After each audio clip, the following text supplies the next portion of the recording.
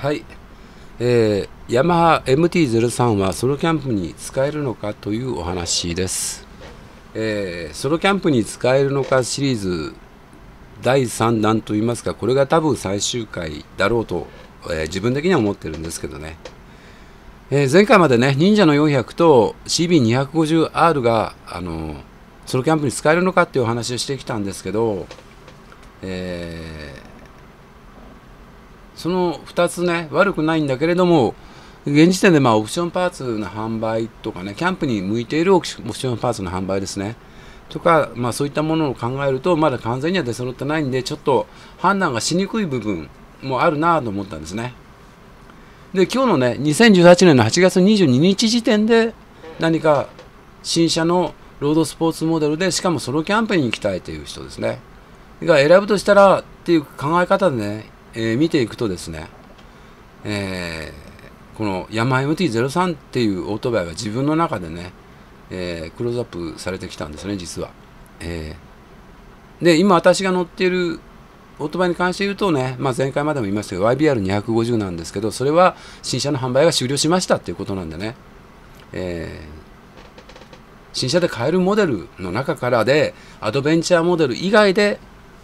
ロードスポーツモデルの中から選びたいと。いう場合で、えー、まあ、車重が軽くて、えー、キャンプに行く荷物30キロぐらい積んでね、場合でも、そんなに死ぬほど重いね、重さにならない、えー、車両重量でソロキャンプに向いてて、荷物が積みやすいオートバイはどれかなという、まあ、基本的にはそういう方向のお話です。でね、この、えー、前回の CB250R なんですが、これには CB300R というも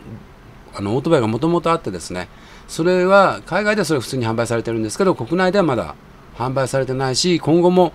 発売される可能性はどうも低いような感じがちょっとしますね。でね、えー、まあ、それをこう考えていくと、その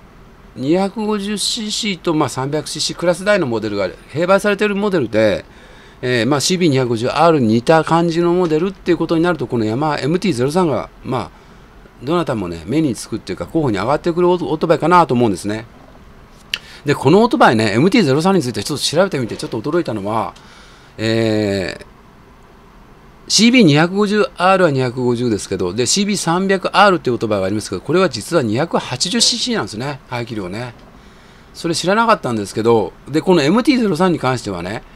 えー、320cc なんですね、これね。だから、あのー、250cc に排気量的に近いのか、いわそれより上のクラスに近いのかっていうなっちゃうと、この MT-03 の場合は、えー、現在ちょっとクラスとしてはね、えー、なくなってしまいましたけど、昔 350cc というクラス結構スタンダードにあったんですけどね、それに近いかなと思いますね、320cc という排気量はですね。えー、だからこれ漢字としては昔々で言うと RZ の250と350の違いに近いのかなという感じですかね。うん。そんな感じを受けましたね。で、これ42馬力で出て、えー、車重が166キロですんで、えー、この重さは忍者の400、250と大体同じですね。で、あのーまあですね、そのパワーユニットは MT25 と MT03 どうですかっていう話になるんですけれども、かなりこのオートバイもね、まあ、回転はかなり、えー、なんていうかな、高いところでは出力は出てはくるんですけど、320cc まで排気量が、まあ、MT03 は選んだ場合ですね。選んだ場合だけど、あのー、あれですね。まあ、大丈夫だと思います。トルクの厚さっていう意味でいくとですね、えー、これちょっと簡単に見ますとですね、えー、MT03 ですね、1万750回転で42馬力と、最大トルクが9000回転で出るんで、まあ、結構高いところでは出るんだけれども、あのー、あれですね、これぐらいだったら多分もう要はですね排気量をアップしてしまうと若干トルクが薄かったかなという感じのねオートバイでも全然ゴロッと、まあ、100cc も違っちゃうと違っちゃうんですよ実質ね。やっぱし。あの名言でね昔からあの、えー、ボアアップに勝る排気量あの排気量アップに勝るねチューンナップなしという言葉がありますけどね。まさしくその通りで 70cc 排気量増えてればおそらくこれは中速機から力がグーンとあるでしょうね。えー、そう思います。だからそのトルクの太さとかねその辺に関してはねあんまり、えー、CB250R とかを買った時みたいに、あのー、考えなくていいのかなと。MT-03 を買った場合ですけどね。ただこれ MT25 かを買った場合やっぱりトルクがそんなにね、えー、まああるわけじゃないでしょうからこれはやっぱり MT-03 買うべきでしょうね。個人的にはそう思います。もちろん全然違う、ね、意見の方もあると思います。車検があるでしょうとか、まあね、いろいろ言われる方もあるでしょうけど、まあ、自分だったら MT-03 買うでしょうね。で、これね、このバイクいいなと思ったのはね、あとシート高ですね、78っていうんで、えー、まあ、忍者の400とかと大体同じで低いですね。で、もう一点ね、あの、いいなと思ってるのはですね、実は、オプションパーツでこれリアキャリアがメーカーさんから最初からすでにあるんですね、これね。えー、降りていくと、これですね。はい。純正のね、あの、ヤマハさんのリアキャリアあります、これ。でね、乗り出し価格をこう、このオートバイに関して調べてみたんですけど、えー、まあ55万ぐらいかな、込み込みで、すべてで、乗り出しがですね、現時点で。だからその55万って言ってるんだけど、このリアキャリアをね、えー、例えばまあ、交渉してみてつけていただけませんか？みたいなお話ししてその中に収まればねあのキャンプに行くための要はそのバイク側の装備ですよね。もうそれほぼ揃ったかなという感じするんですね。それでねもう一点はこういうセパレートになったタイプのここですね。シートにキャンピングシートバック2を積む場合にちょっと不安があるなという感想ね、私もそう思ってたんです、実は。これ、ヤマハ、YSB さんで見たことあるんです、原車ね。これ、キャンピングシートバック2積めるのかなと思ったんですけど、これに関してですね、あのー、やっぱりまたね、えー、素晴らしいアイデアの持ち主が YouTube にいらっしゃいました。スリルマンさんという方がですね、タナックスのミニフィールドシートバッグの取り付け方法で紹介されてるんです、実は。これねあのミニフィールドシートバッグでキャンピングシートバッグ2ではないんですけど、えー、うまくつきついてますね。これで付け方はすごく分かりやすく説明されていらっしゃるんでね。あのこの動画も概要欄に後で貼っとこうかなと思うんですけどだから MT-03 を買って、えー、キャンピングシートバッグ2を買ってきましたと。その場合にこのスリルマンさんがやられてる方法でつけるとねうまくつくと思います。間違いなく。これでえー、間違えなくてはいけないのかな、まあ、絶対とは言わないんだけど多分つくと思いますよ。なんでミニフィールドシートバッグとキャンピングシートバッグ2の違いは何かってこうあのあれですね前後方向。の違いが5センチほどキャンピングシートバッグ2のがあるんですけどこの取り付け方って見るとリアシートの上に乗ると思いますねキャンピングシートバッグ2ね。あのー、だからいけると思います十分。そんな気がしました。あだからあの YSP さんでね MT-03 かな MT25 かどっちくらかを見たときに若干あの個人的にはつくのかなキャンピングシートバックス乗るかなと思ったけど大丈夫そうですねこれね、えー、となるとですねほとんどキャンプに行くための装備を装備ですね、えー、積む部分で言うと、えー、リアキャリアが純正ありますよね。でシート号がローダウンリンキットなんか入れなくても最初から78で低いですよね。でキャンピングシートバックスをこのあのリアシートに詰めるというのがもう判明この時点でしたんですね。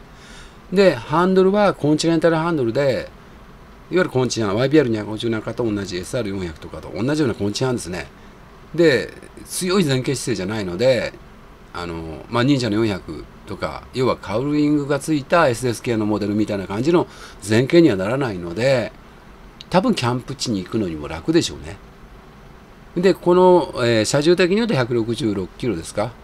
えー、そんな重いバイクじゃないですね。例えばその、あのー、V ストロームの250みたいにね、と比べると多分これ20キロ以上違うんだろうと思うんですね、このバイクとね。だからこの166キロに2、30キロ乗せても、まあ、200キロは切れてますね、十分ね。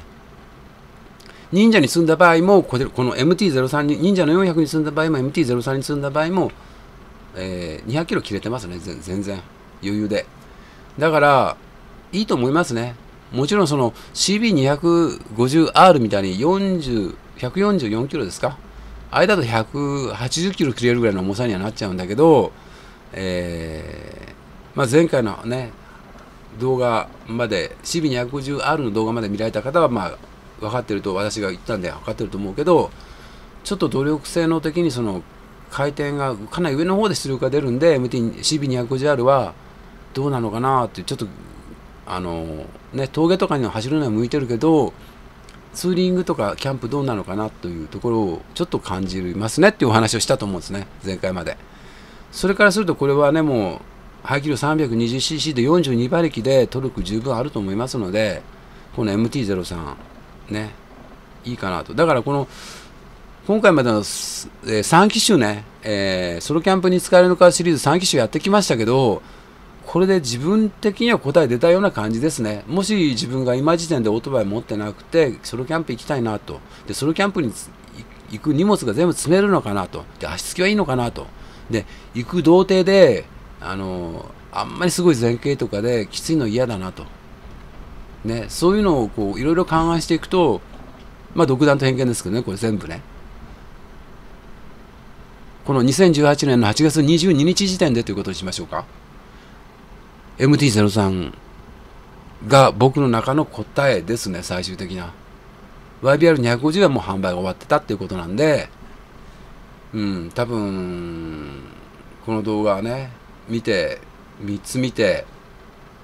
販売店ねヤマハの販売店さん行くかもしれないですねもし自分がそのキャンプにあのー、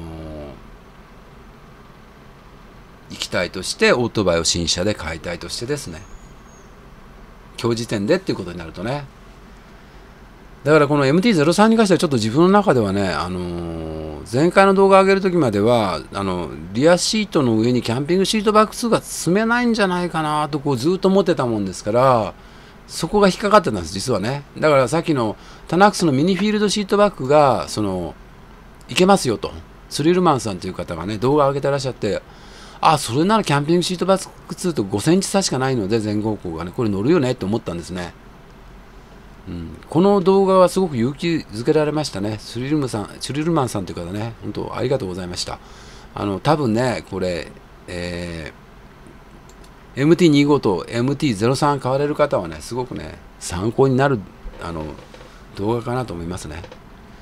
というわけで、今日時点でっていうことになっちゃうと、あ、これで決定でしょうね。自分的にもし買うとしたらね。えー、そんな感じになりました。